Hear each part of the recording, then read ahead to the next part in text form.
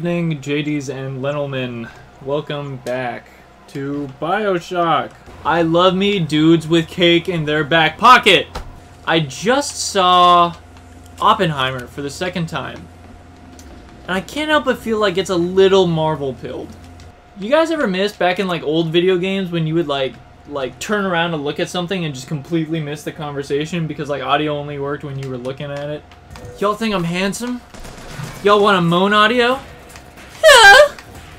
Yeah. DeWitt, I'm a fool. I've sent mighty armies to stop you. I've rained fire on you from above. I did all of that to keep you from her, when all I... This guy kind of looks like Santa Claus, don't he? What's like the past tense of sick? Like when you sick a dog on someone? I can't imagine it sucked. Santa Claus did evidently die. Um. Hey, yo, let me drive the boat. Get him ass. Zeppelin! Yeah, can I, can I, can I do it to him? Yo, I am gonna die. Fun fact. Oh god. Oh god. Oh goodness golly me. Oh god. Never mind, I overreacted. I'm good. Oh god, I'm gonna die. Oh god. Oh god.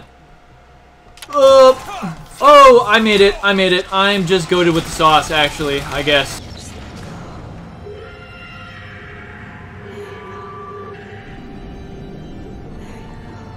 Are we in Rapture?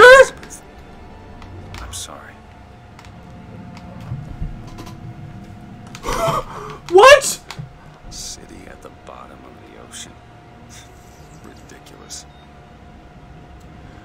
You just destroyed a city in the sky that is floating not because of helium, not because of hot air, but because it is built on top of air particles that refuse to fall. What are you talking about, Booker? There are a million, million worlds. All different, all similar.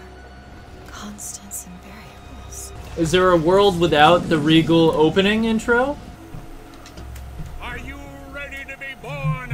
Are you ready to rumble? It's not over because the prophet is dead. It will only be over when he never even lived in the first place. Whoa, we're gonna baby Hitler father Cumsock? Name you take my son? He's Zachary Comstock. He's Booker DeWitt. Both.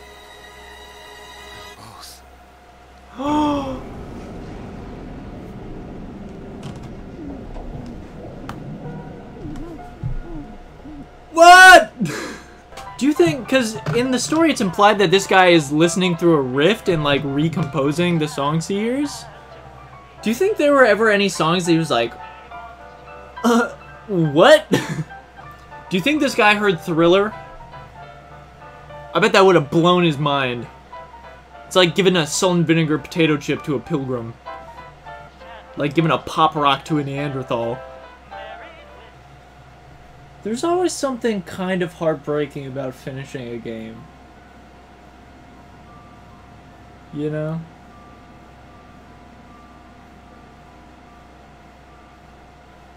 Oh? Thanks for tuning in, folks. I really, really appreciate it. And I'll, uh... I'll see you around. But if I don't see you, good afternoon, good evening, and good night. Deuces.